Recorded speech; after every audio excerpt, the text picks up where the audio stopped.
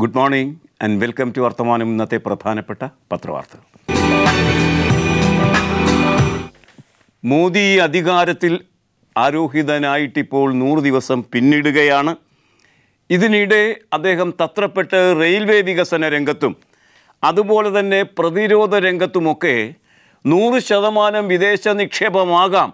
അതിന്റെ നിർമ്മാണ പ്രവർത്തനങ്ങൾ അടിസ്ഥാനതല നിർമ്മാണ പ്രവർത്തനങ്ങളിൽ ഏകദേശം നൂറ് ശതമാനവും വിദേശ നിക്ഷേപമാകാം. എന്ന നിലയ്ക്കുള്ള നിയമങ്ങൾ പാസാക്കിയെടുത്തു അതേ തുടർന്ന് അദ്ദേഹം ചെയ്തത് നൂറ് ദിവസം തികയുമ്പോൾ അദ്ദേഹം ചെയ്തത് വിദേശ രാജ്യങ്ങളിൽ പോയി.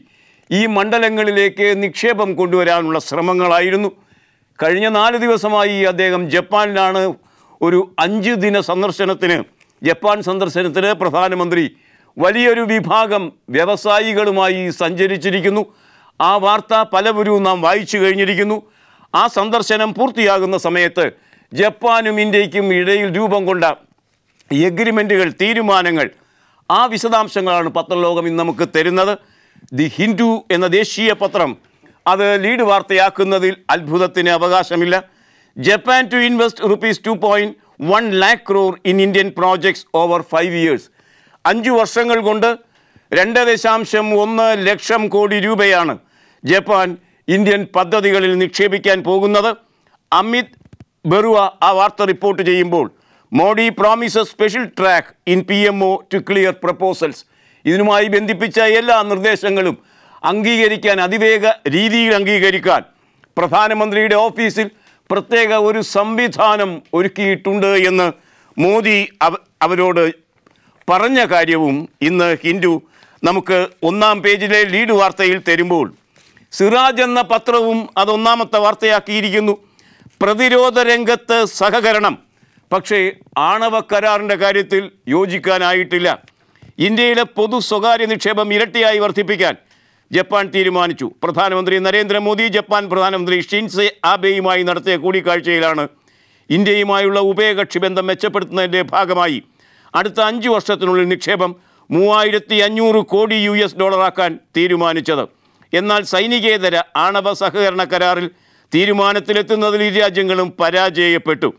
ഇന്ത്യയിൽ ബുള്ളറ്റ് ട്രെയിൻ യാഥാർത്ഥ്യമാക്കുന്നതിനുള്ള സാമ്പത്തിക സാങ്കേതിക സഹായങ്ങൾ നൽകുന്നതുൾപ്പെടെ ഇന്ത്യ ജപ്പാൻ സഹകരണം മെച്ചപ്പെടുത്തുമെന്ന് സംയുക്ത പത്രസമ്മേളനത്തിൽ നരേന്ദ്രമോദിയുടെ സംയുക്ത പത്രസമ്മേളനത്തിൽ ഷിൻസോ ആബെ പറയുകയുണ്ടായി. പ്രധാനമന്ത്രി നരേന്ദ്രമോദിയുടെ സ്വപ്ന പദ്ധതികളിൽ ഒന്നാണ് ബുള്ളറ്റ് തീവണ്ടി അത് യാഥാർത്ഥ്യമാകാൻ പോകുന്നു എന്ന നല്ല വാർത്തയും ഇതുമായി ബന്ധിപ്പിച്ച് ഇന്ന് പത്രലോകം നമുക്ക് തന്നിരിക്കുന്നു. നരേന്ദ്രമോദിയുടെ വിദേശയാത്ര വിവരണങ്ങൾ ഇങ്ങനെയൊക്കെയാണ് നമ്മെ തേടിയെത്തുന്നത്. ഇന്ന് ഹിന്ദുവിന്റെ ഒന്നാം പുറം മറ്റൊരു പ്രധാനപ്പെട്ട വാർത്ത കൂടി നമുക്ക് തരുന്നുണ്ട്. സെപ്റ്റംബർ അഞ്ച് അധ്യാപക ദിനമാണ്. ഇന്നലെ ഈ പങ്ക്തിയിൽ പരാമർശിച്ചത് മാതിരി അധ്യാപക ദിനത്തിന്റെ അന്ന് മോദി ദില്ലിയിൽ നടത്തുന്ന ഒന്നേ മുക്കാൽ മണിക്കൂർ നീണ്ടു നിൽക്കുന്ന തെരഞ്ഞെടുക്കപ്പെട്ട വിദ്യാർത്ഥികളുമായുള്ള ഇന്ററാക്ഷൻ ഉണ്ട്. ആ ഇന്ററാക്ഷൻ പൂർണമായും വിദ്യാർത്ഥികളെ കേൾപ്പിക്കാൻ അഖില അഖിലേന്ത്യാ നിലവാരത്തിൽ സംവിധാനമുണ്ടാകുന്നു അതുവഴി. ആ പ്രസംഗം നിർബന്ധിതമായും വിദ്യാർത്ഥികൾ കേൾക്കേട്ടി കേൾക്കേണ്ടി വരും എന്ന നിലയ്ക്ക് വാർത്ത പ്രചരിച്ചിരുന്നു. പക്ഷേ വിവാദങ്ങൾ ഉയർത്തിയ ആ വാർത്തയുണ്ടല്ലോ. ആ വാർത്ത സത്യമല്ല എന്ന് വകുപ്പ് തല മന്ത്രി സ്മൃതി ഇറാനി തന്നെ പറഞ്ഞിരിക്കുന്നു. Modi address Modi's address optional for students Smriti. West Bengal government അതൊന്നും ഞങ്ങൾ കേൾപ്പിക്കാൻ പോകുന്നില്ല എന്ന് തുറന്നു പറഞ്ഞു കഴിഞ്ഞിരിക്കുന്നു.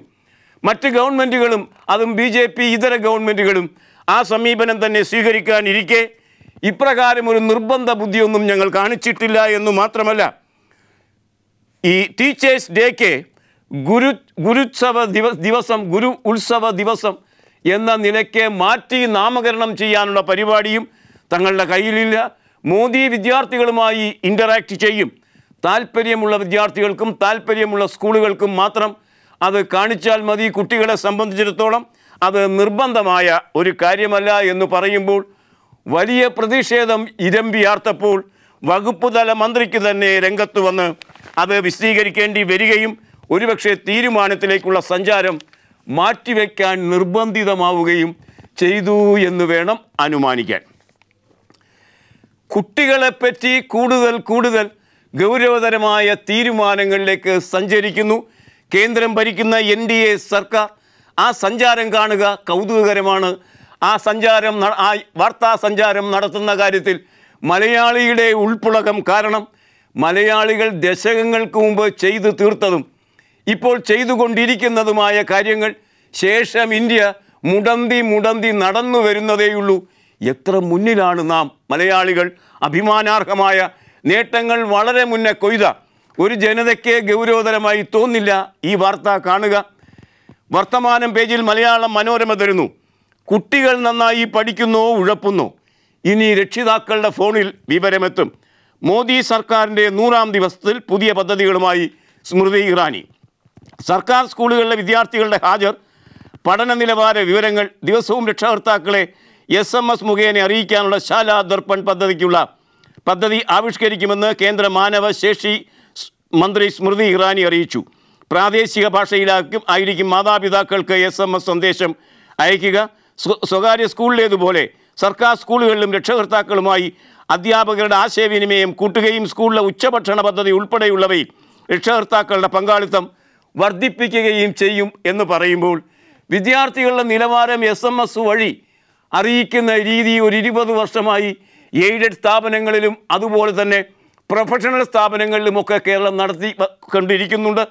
അത് അനുദിനമായിരിക്കണമെന്നില്ല. ഓരോ ടേം എക്സാമിനേഷന്റെയും റിസൾട്ട് നേരിട്ട് രക്ഷകർത്താവിനെ അവതരി അറിയിക്കുന്ന രീതി എന്നേ നാം നടപ്പാക്കി. രക്ഷകർത്താക്കളും അധ്യാപകരും തമ്മിൽ ആശയവിനിമയം നടത്തും. നമ്മുടെ പഴയ പി ടി എയുടെ കാര്യമായി പറയുന്നത് കാൽ നൂറ്റാണ്ടായി കേരളത്തിൽ സജീവമായി നിലനിൽക്കുന്ന ഒരു പ്രസ്ഥാനമാണിത്. ആ പി ടി എ നന്നായി നടപ്പാക്കും ബാക്കി ഇന്ത്യയിൽ. അതുകൊണ്ടും തീർന്നില്ല ഉച്ചഭക്ഷണം. ഉച്ചഭക്ഷണമല്ല കേരളത്തിൽ. ഉച്ചയ്ക്കുള്ള ഉത്സവ സ്വഭാവത്തോടു കൂടിയ സദ്യയാണ് ഇപ്പോൾ നൽകിക്കൊണ്ടിരിക്കുന്നത് പി ടി എയുടെ ആഭിമുഖ്യത്തിൽ. കാൽ നൂറ്റാണ്ടിന് മുമ്പ് നാം നടന്നു കയറിയ പാതയിൽ ഇടറുന്ന കാൽ വെച്ച് ഇന്ത്യ മുന്നോട്ട് വരുന്നു. ശേഷം ഇന്ത്യ മുന്നോട്ട് വരുന്നു. എന്ന ലജ്ജിപ്പിക്കുന്ന വാർത്തയാണ് സത്യത്തിൽ മലയാളികളുടെ മുന്നിൽ ഇറാനി സ്മൃതി ഇറാനി എന്ന സിനിമാ താരം വെച്ചിരിക്കുന്നത് എന്ന് പറയാതെ വയ്യ.